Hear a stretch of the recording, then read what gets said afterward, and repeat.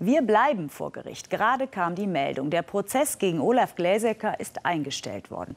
Der frühere Sprecher von Christian Wulff war der Bestechlichkeit und Bestechung angeklagt.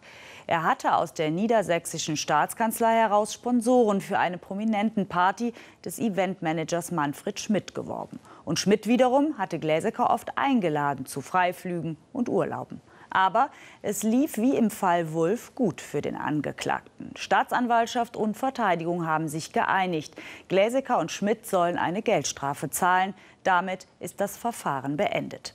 Zu den Details schalten wir jetzt zu meinem Kollegen Thorsten Habke. Der steht vor dem Landgericht in Hannover. Herr Habke, Christian Wulff hatte ja einen Deal noch abgelehnt. Gläsecker hat jetzt zugestimmt. Können Sie das mal für uns einordnen? Ist das gut oder schlecht für den Angeklagten?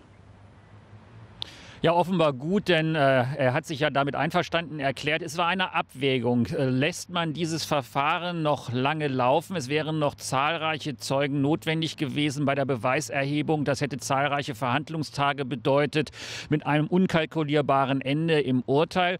Oder aber gibt man jetzt einen Geldbetrag von 25.000 Euro als Geldauflage aus, hat dafür aber die Sicherheit, dass das Verfahren beendet ist, hat die Sicherheit, dass man unschuldig ist, denn eine Einstellung und unter Geldauflagen heißt eben, dass die Angeklagten nicht vorbestraft sind. Und in der Abwägung war es für Olaf Gläsecker und den Mitangeklagten Manfred Schmidt eben dann das Richtige zu sagen, damit sind wir einverstanden, wir akzeptieren die Geldauflage und haben damit dieses Verfahren beendet.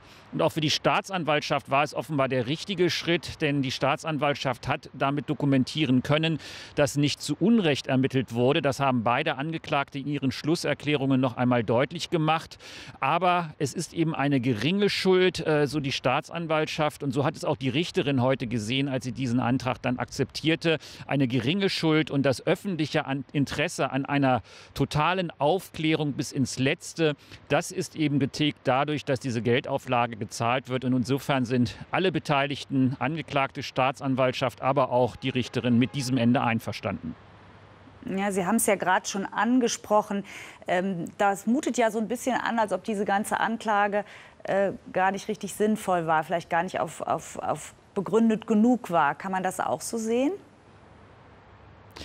Ähm, zumindest wurde es hier im Gerichtssaal heute anders gesehen und äh, das war schon ein interessantes und auch sehr harmonisches Ende, in der es eigentlich Lob für alle Seiten gab von der Richterin. Und gerade zu diesem Punkt hat sie gesagt, die Staatsanwaltschaft hätte dieses Verfahren sehr präzise und objektiv gehört, geführt. Mit anderen Worten, da war schon am Anfang etwas und sie hat auch noch mal in äh, ihrer Einstellungserklärung jetzt deutlich gemacht, an welchen Stellen sich auch in der Zeugenvernehmung, in der Beweisaufnahme etwas geändert hat. Und da ist sehr maßgeblich der Zeugen Zeuge Christian Wulff, dessen Name sie zwar nicht nannte, aber es war klar, dass er gemeint war, der eben bei der Staatsanwaltschaft noch so getan hatte, als wenn er vom Handeln seines Regierungssprechers überhaupt gar nichts mitbekommen habe, gar nichts gewusst habe, als wenn die Freundschaft zwischen Olaf Gläsecker und Manfred Schmidt ihm nicht bekannt gewesen sei.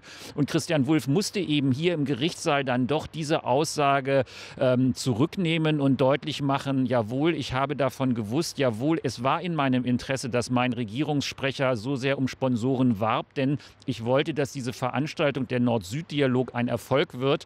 Und ich finde das Verhalten meines äh, Regierungssprechers in der Sponsorenwerbung korrekt und im Sinne des Dienstherrn. Und das sind eben Aussagen, die bei Anklageerhebung so noch nicht vorlagen, die erst im Gerichtssaal so gemacht worden sind und die dann dazu beigetragen haben, dass diese Einstellung möglich wurde. Also insofern kein Fehler der Staatsanwaltschaft, sondern das, was man häufiger in Gerichtssälen hat, dass sich eben ein Sachverhalt klarer herausstellt in einem öffentlichen Verfahren, als das vorher beim Ermittlungsverfahren der Fall war. Ja, eine Einstell äh, Einschätzung zum plötzlichen Prozessende gegen Olaf Gläsecker. Herzlichen Dank, Herr Habke, nach Hannover. Bitte schön.